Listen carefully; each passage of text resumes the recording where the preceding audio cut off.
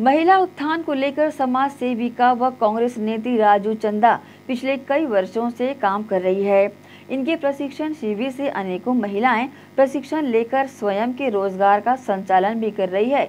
विधायक देवेंद्र यादव का इन्हें सतत मार्गदर्शन मिलते आया है। आइए देखते हैं राजू चंदा से हुई बातचीत के खास अंश। नमस्कार दोस्तों, ग्रैंड एशिया न्यूज़ की खास पेशकश एक मुलाकात में आज हमारे साथ हमारे स्टूडियो में मौजूद हैं राजू चंदा जी। क्योंकि राजू चंदा जी किसी परिचय की मोहताज नहीं है। राजू चंदा द्वारा पिछले कई वर्षों से निरंतर कार्य करते हुए शहर की, या कहें पूरे दुर्ग ज़िले की सैकड़ों महिलाओं को लाभान्वित कर उन्हें स्वरोजगार से जोड़ने रोज़गार मूलक कार्यक्रम चलाकर ऐसी कुछ व्यवस्था बना, उपलब्ध कराई गई कि महिलाएँ आज स्वरोजगार से जुड़ी हैं और अपने साथ साथ अपने परिवार का भरण पोषण भी कर रही हैं। स्टूडियो में मौजूद आज राजू चंदा जी से हम जानना चाहेंगे कि इस कार्य की शुरुआत इन्हें कब से मिली और इस कार्य की प्रेरणा भी उन्हें उन्हें कहाँ से मिली? मैडम, आपका ग्रैंड एशिया न्यूज़ में स्वागत है।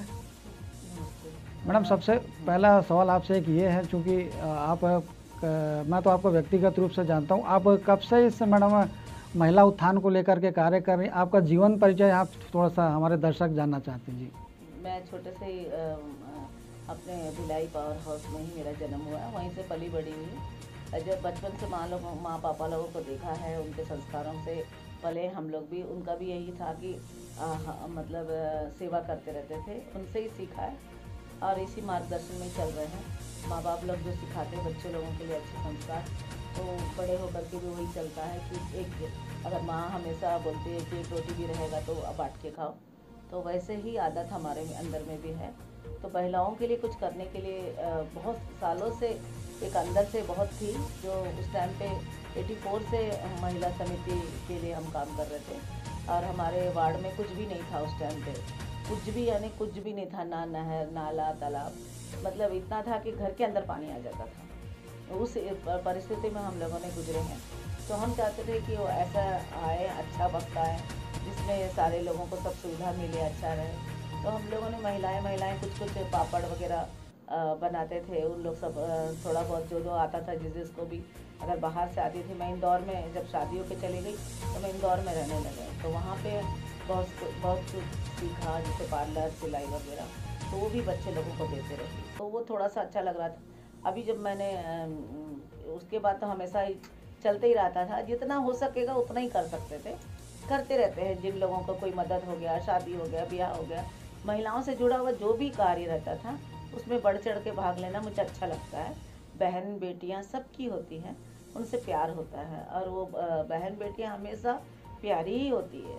उन लोगों को हमारे जो छत्तीसगढ़ के ही लोग नहीं, पूरे देश की जो बच्चियाँ हैं, माँ हैं, वे बहुत अच्छे लोग हैं। उनके अंदर में कोई भावना नहीं रहता है। बेटी लोग बहुत प्यार करने वाले रखते एक बार अगर आप उसको बेटी बोल दो, वो भरोसे के साथ बात करती है, माँ करके वो वो मुझे बहुत अच्छा लगता है। तो उनके साथ करते रहती हूँ।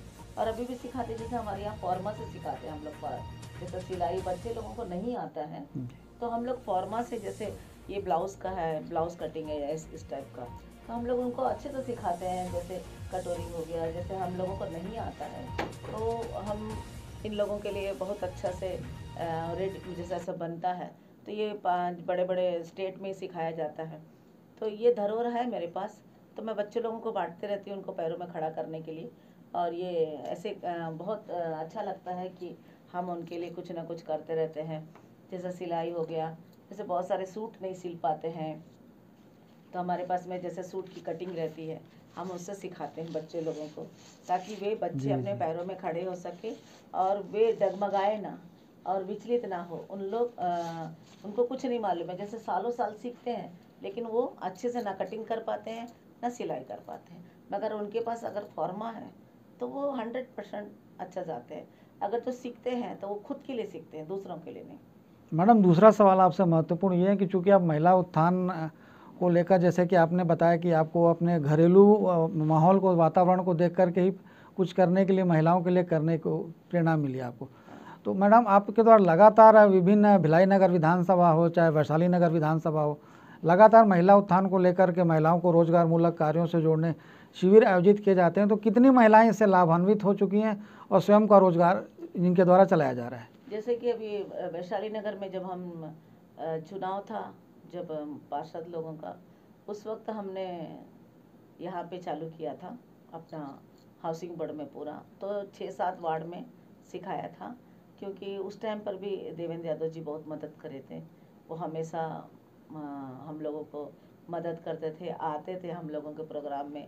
उनका उत्साह देख करके हम लोग को भी अच्छा लगता था कि कोई आते हैं हमारे लिए जो हम लोगों के लिए महिलाओं के लिए। अब भवन नहीं था हम लोग के पास में हाउसिंग बोर्ड में कहीं पर भी महिलाओं को सीखने के लिए।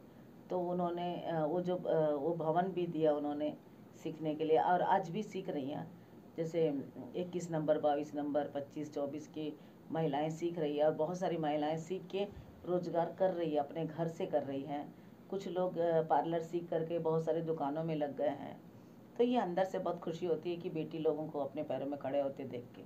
क्योंकि मैडम भिलाई नगर विधायक देवेंद्र यादव जी का भी आपको लगातार मार्गदर्शन मिल, मिलता रहा है। उनकी प्रेरणा से भी आपके द्वारा कई असंभव कार्य को किए गए तो हम, मैडम, आपसे जानना चाहेंगे कि भिलाई नगर विधानसभा क्षेत्र में किन किन वार्डों में अभी हाल फ़िलहाल में जो जो शिविरों का जो आयोजन किया जा रहा है प्रशिक्षण शिविर का। हाँ उनका तो बहुत बड़ा उनका सोच ही अलग है। उनके सोच के लिए तो अ, कुछ बोल नहीं सकते हैं। सोच बोलना कम है क्योंकि वैसे व्यक्ति के लिए अगर बोलना है तो कम पड़ेगा। वे बहनों के लिए आगे आए हैं तो अभी उन्नीस वार्ड चलता है। उन्नीस वार्डों के लिए वे सारे चीज़ों का व्यवस्था करते हैं और उन्नीस वार्ड में 200 महिलाएँ आज रोज़गार में खड़ी है उनकी वजह से। और हर वार्ड में से 11 लोग को चुना गया है। जी। जी और वे सीखते भी हैं और मतलब सारे लोगों को अच्छा रोज़गार भी दिया उन्होंने और आगे भी वो करते रहेंगे। हम उनका आभारी है हम सब बहनें और बेटियाँ उनके आभारी रहेंगे और हमेशा उनके लिए खड़े होना पसंद करेंगे क्योंकि वे हमेशा बहन और बेटी के लिए खड़े रहते तत्पर में। और मैं भी जाती हूँ तो बोलते भी हैं कि अम्मा अम्मा जी को क्या चाहिए दे दीजिए बहनों के लिए हाँ, अम्मा जी और क्या करना चाहते हो? बताइए बताइए। अम्मा जी आपको और क्या कमी पड़ रहा है? तो वो मुझे एक जो मैंने अंदर से शुरू से कोशिश किया था एक जुनून के साथ काम करूँगी वो एक बेटा बन करके या तो बोला जाता है पिछले जन्म जन, जन्म में एक राजा होंगे वे जो प्रजा के लिए बहुत अच्छा सोचते हैं उस तरीके से वो काम करते हैं एक नायक की तरह और हर चीज़ को व्यवस्था करके देते हैं। मेरे मुँह खोलने से पहले ही वे सारे चीज़ कर देते हैं पूरे वार्डों के लिए। तो उनके साथ काम करते हुए मुझे गौरव महसूस हो रहा है और जितने दिन की जो मेरी तमन्ना थी, जो ये साठ साल में आके पूरा हुआ तो मैं आज बहनों के लिए करते हुए खुशी हो रही है और मुझे गौरव भी हो रहा है। मैडम, आपके जो प्रशिक्षण शिविर आयोजित जो आपके द्वारा किए जाते हैं, उनमें मूल रूप से कौन कौन सी ऐसी चीज़ें हैं जो जो कामकाजी महिलाओं को सिखाई जाती जिनसे वे आगे अपना रोज़गार का संचालन कर सके, स्वावलंबी बन के। अब ये जैसे ब्लाउज है, बहुत लोगों को नहीं आता है। और वे सीखते भी हैं तो आधा अधूरा। उनके पास सिलाना भी नहीं चाहते हैं। रेडीमेड अगर आज हम खरीद के ही ना पहनते, वो कोई तो भगवान तो नहीं बनाया है, वो भी तो इंसान ही बनाते हैं। तो उसको सीखे नहीं ना ढंग से। जैसे कोई भी सिखाता है, कुछ भी सिखा देते हैं, उसको उन लोग ले लेते हैं। लेकिन अगर वही ब्लाउज अगर खुद हमारे पास जैसा फॉर्मा के साथ देते हैं उसमें कहाँ से? अगर मान लीजिए आपने आपके पास में ये बत्तीस नंबर का है या तो फिर ये अ, हमारे पास में है चौंतीस नंबर का जो ब्लाउज है बोट नेक तो ये चौंतीस नंबर का बोट नेक ही है। तो ये ब्लाउज अगर सील के अगर ये बोट नेक पहनेंगे तो अगर आप अच्छे वाले मार्केट में जाके सिलाते हो तो साढ़े सात सौ रुपया पाँच सौ रुपया इसका इतना रेट रहता है। तो क्यों ना वो महिलाएँ आज जो सीख करके जो इतने बड़े प्लेटफॉर्म दिए हैं विधायक जी ने कभी सोच नहीं सकते महिलाओं के लिए और आज तक ही ना कोई सोचा है इस मामले में कि कुछ करना चाहिए। लेकिन उन वो वो गौरव भी करते हैं कि अम्मा जी आप बहुत मतलब महिलाओं के लिए करते हो करके। वो भी बोलते हैं। लेकिन वो मैं मैं एक बुज़ुर्ग होकर के इतना आगे जाती हूँ तो उनको अच्छा लगता है और वो चाहते हैं कि मैं और और क्या चाहिए? अम्मा जी क्या करना चाहते हैं? तो पार्लर हो गया सिलाई हो गया। अभी कुटीर उद्योग में बहुत सारा है। पापड़ है, अचार है, बड़ी है, समूह के लोग भी इसमें अभी शामिल हो रहे हैं। हमारा अभी नेक्स्ट वही वाला है, चल रहा है अभी। मैडम, यहाँ पे एक सवाल ये भी आता है, क्योंकि आप जैसे कि मेरे द्वारा खुद देखा गया इस चीज़ को, जो प्रशिक्षण शिविर जो आप आयोजित करती हैं, लगाती हैं, जिसमें दो सौ, तीन सौ के अलावा ऊँची काफ़ी बड़ी संख्या में महिलाएँ और कामकाजी महिलाएँ पहुँचती हैं। तो मैडम, आपकी आय का स्रोत क्या है मैडम? क्योंकि वहाँ पे ये भी देखने को मिलता है, सब सब कार्य आपके द्वारा पूर्णतः निःशुल्क कराया जाता है। नहीं नहीं ये जो विधानसभा में अभी जो चल रहा है वो पूरा विधायक का ही है। उनको जाके मैं बोलती हूँ और एक बेटे की तरह हक से अ, वो मेरे बेटे जैसे ही मेरे बेटे मेरा बेटा भी अ, जितना प्यार कर सकता है इतना सम्मान कर सकता है माँ के लिए वो ही प्यार और सम्मान मैंने उनके आँखों में देखा है। मैं उसलिए उनके साथ काम करती हूँ। क्योंकि एक बेटा एक माँ को एकदम एक अ, अच्छे से समझ सकता है वैसे वो समझते हैं और वो पूरे वार्डों के लिए सब चीज़ व्यवस्था करते हैं। मैं जो- जो जो मांगती हूँ जी। हम्म। मैडम अभी ये भी देखने को मिला तो जो हाल ही में जो तीजा पर्व निकला है उसके पूर्व जो राखी निकली थी इस दौरान भी महिलाओं का महिलाओं के लिए आपके आपके द्वारा काफ़ी व्यवस्था की गई थी। चूड़ियों से लेकर श्राग तमाम तरह की श्रृंगार सामग्रियाँ उपलब्ध कराई गई थी। तो ये मैडम इसके पीछे आपकी क्या सोच थी? वो जैसे अ, मैंने जाके अगर बोलती हूँ कुछ भी कि सर अपन मेहंदी ये पार्लर करा रहे हैं तो इसके साथ में अपन मेहंदी करा लेते हैं। तो हाँ हाँ ठीक है कर लीजिए। अब मैं बोलती हूँ सर अपन चूड़ी बांटना चाहती हूँ मैं। हाँ हाँ अम्मा- जी बांट लीजिए। तो जो भी अगर मैं बोलती हूँ क्या सर सर अपन को ऐसा करना चाहिए। मैं मतलब मैं इसमें खुश हूँ। मेरे को ये वाला आयोजित कर दीजिए तो वो खुश हो जाते हैं। बोले "आ- आ- मैं भी चाहता हूँ मैं भी बहनों के लिए चाहता हूँ।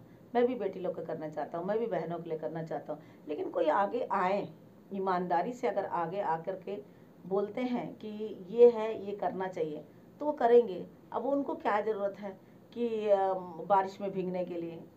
या तो फिर वो जाते हैं हर वार्ड में देखने के लिए हर मैंने शुरू से उनसे प्रभावित हूँ मैं शुरू से क्योंकि मैं एक बार गई थी उनको दो तीन बार मैं जल्दी से कहीं पे जाना आना पसंद नहीं करती थी तो मैंने एक बार देखा उनको ये बहुत सारे सेवा करते हुए उनको हर जगह में मैंने पाया, उनको देखा, समझा तो मैंने कहा नहीं।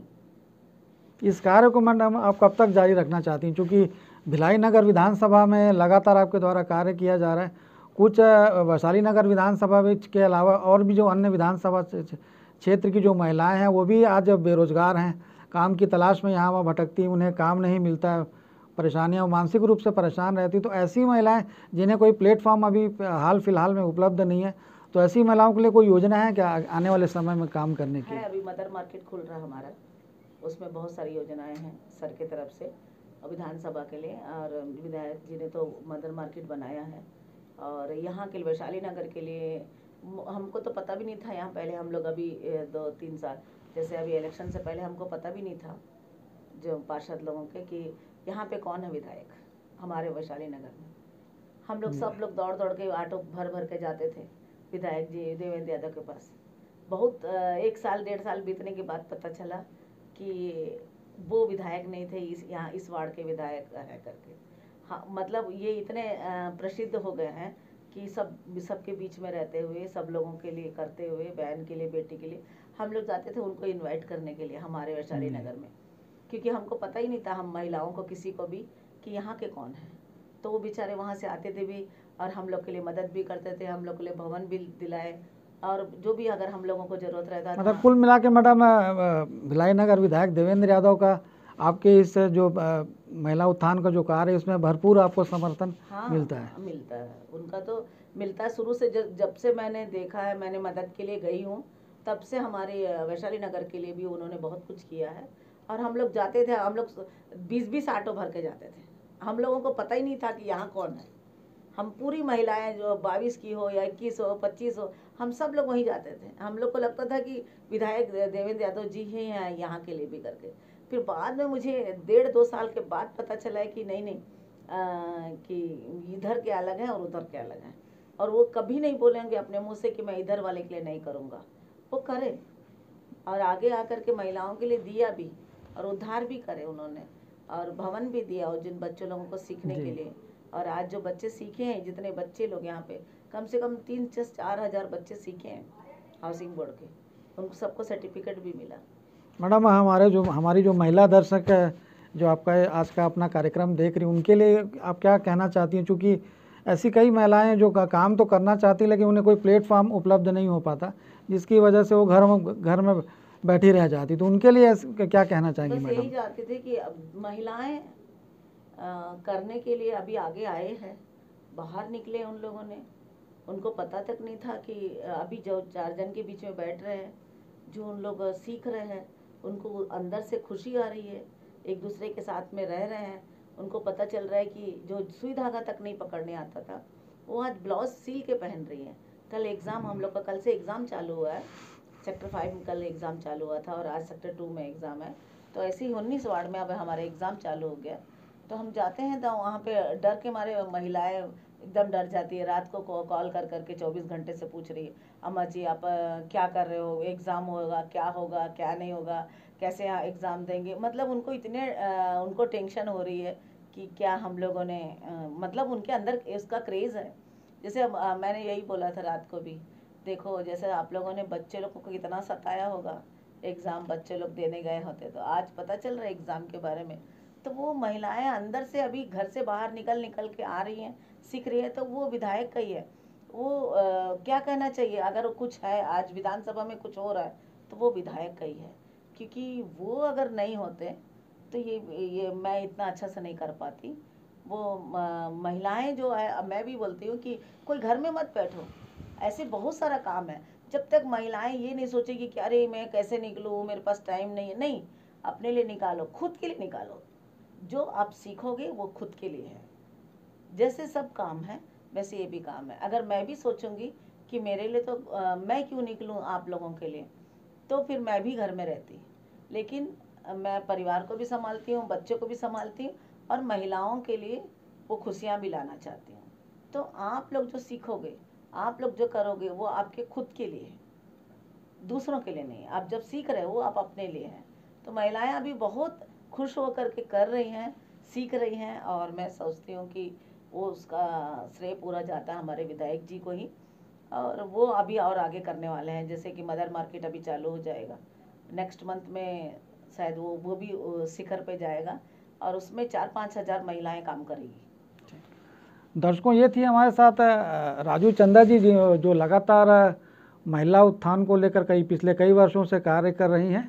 चूँकि राजू चंदा जी के नेतृत्व में सैकड़ों महिलाएँ आज लाभान्वित हो हो चुकी हैं, रोज़गार मूलक कार्यों से जुड़ चुकी हैं परिवार का भरण पोषण कर रही हैं। हाल, इनके कार्यों को भिलाई नगर विधायक देवेंद्र यादव द्वारा लगातार अपना मार्गदर्शन दिया जाता रहा है। किसी तरह की महिला उत्थान को लेकर जो इनके द्वारा कार्य किया जाता है, विधायक जी द्वारा लगातार इन्हें प्रोत्साहन दिया जाता है। किसी तरह की रुकावट होने पर स्वयं विधायक जी मौके पर मौजूद रहते हैं। तो ये इस कार्यक्रम को देख रही हमारी महिला दर्शकों से यही अपील है कि वो वो भी सामने आए, अपने हाथों में छिपी प्रतिभा को सबके सामने प्रदर्शित करें। कुछ स्वयं के लिए जोड़ें, कुछ अपने आने वाले भविष्य के लिए जोड़ें। और किसी तरह की ये दिक्कतों का आपके सामने किसी तरह की दिक्कतें या परेशानियाँ आती तो राजू चंदा जी से आप स्वतः स्वयं संपर्क कर सकती है। नमस्कार। जो विधायक जी हैं वो भी जिस दिन से राखी बांधे हैं वो, वो उनका कहना है कि मेरे पूरे वार्ड के लिए नहीं सभी के लिए मैं एक भाई हूँ और जितना हो सकेगा मैं सब लोगों के लिए करूँगा। तो आप लोग निश्चिंत होकर के विधायक जी के पास में भी अपना जाइए। आप लोग सब लोगों का सुनते हैं अभी तो आपके हर वार्ड में जाते हैं। देखो अगर हम लोग जाते हैं कहीं पर भी तो एक दिन दो दिन चलेंगे थक जाएँगे लेकिन वो लगातार बोल बम जब देखे, आप आप अपने घर के बेटा हो वो भी, अपने घर का भाई है। वो लेकिन वो लगातार कल बारिश में भी भींग करके उन्होंने चला था और मुझे बहुत तकलीफ़ हो रही थी।